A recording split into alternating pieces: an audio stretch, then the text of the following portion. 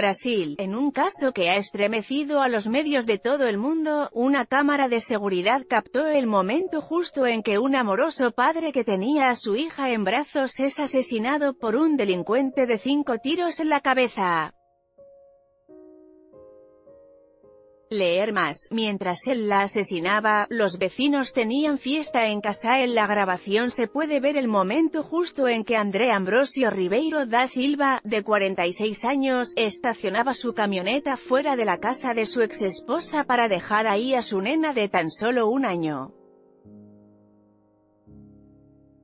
Foto, captura de video Leer más, no lo merecía, ayer cumplía 17 años, queremos justicia, el hombre cargaba a su niña mientras la niñera bajaba tranquilamente del vehículo, cuando repentinamente un individuo armado se aproximó a ellos lanzando amenazas.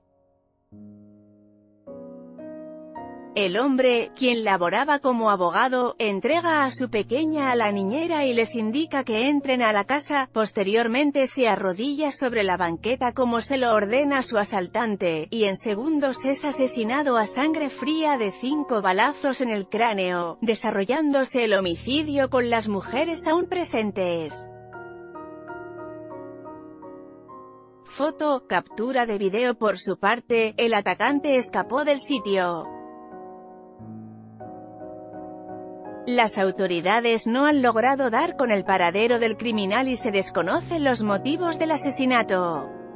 Un video de vigilancia que registró el trágico evento fue publicado por la policía brasileña, y puede ser visto en el siguiente link, en esta nota, video de vigilancia homicidio matan a padre a balazos Brasil frente a su niña.